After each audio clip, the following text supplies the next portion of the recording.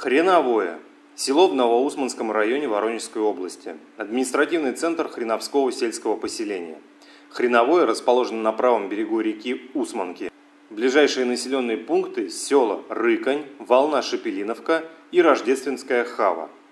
В 1654 году в 12 верстах к югу от города-крепости Орлова, ныне село Орлово того же района, на правом берегу речки Усмане был поставлен опасный острожек – Место, где поставили острожек, орловцы знали хорошо. Они приметили его во время своих объездов в степи. Здесь в изобилии рос хрен. Русские люди давно знали толк в целебных и вкусовых качествах кореньев этого растения. Место, где рос хрен, называлось Хреновой поляной. Укрепленный пункт, созданный здесь в старых документах, именовался Хреновским опасным городком, а выросшее тут же позднее село стало называться хреновым. Острожек строили умельцы из Орловской крепости, а также из сел Углянца, Никонова, Собакиной Усмани. Длина его стены в окружности имела 40 сажен. В стене была рубленная четырехугольная башня с караульной клеткой наверху. По стенам имелись подмостки, где стояли служилые люди во время ведения оборонительного боя.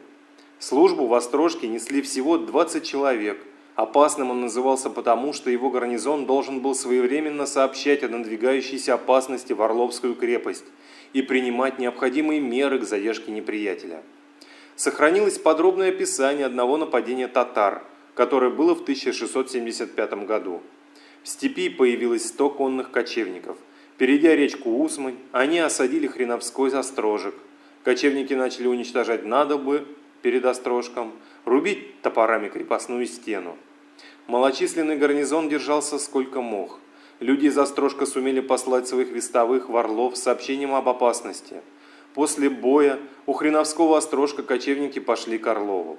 Видимо, гарнизон в Островске был уничтожен. В документах сообщается, что кочевники многих русских людей перекололи, многих взяли в плен, захватили конские и животинные стада. Но вскоре орловцы, собравшись силами, разгромили кочевников, освободили пленных, вернули стада – После боя началось восстановление Хреновского острожка.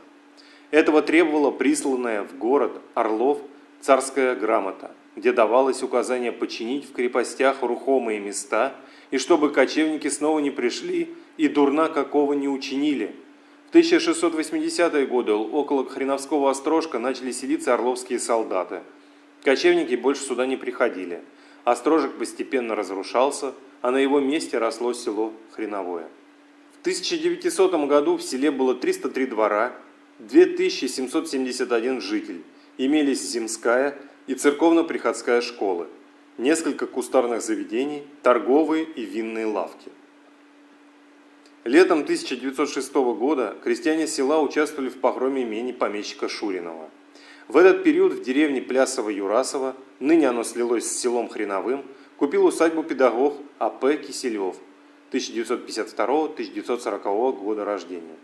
Известный русский математик, автор школьных учебников, арифметика 1864 года, алгебра 1888, геометрия 1895 и других. Выйдя в отставку с 1901 по 1918 годы, он безвыездно жил в своей усадьбе. В 1904 году в селе он построил школу. Долгое время жила в этом селе и старшая его дочь Еа Киселева 1878-1974 года, известная художница. В окрестностях села ею написано несколько художественных полотен. Ныне усадьба Киселевых является памятником истории и культуры. Она включает шесть объектов, находящихся под охраной государства. Советская власть в селе провозглашена в декабре 1917 года.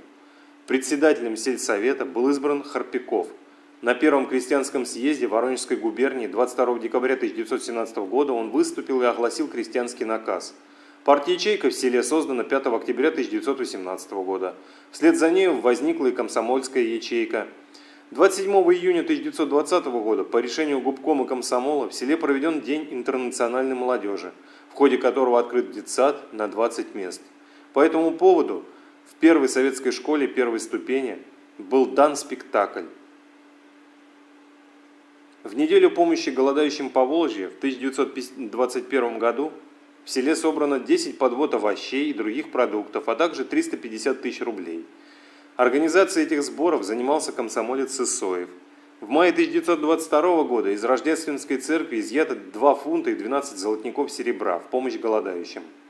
11 апреля 1922 года в селе был создан кооператив. В 1926 году в селе было 609 дворов, 3171 житель, имелись школа первой ступени с четырьмя учителями. В 1930 году организован колхоз «Победа». В селе находится братское захоронение времен Отечественной войны, где захоронено 143 бойца.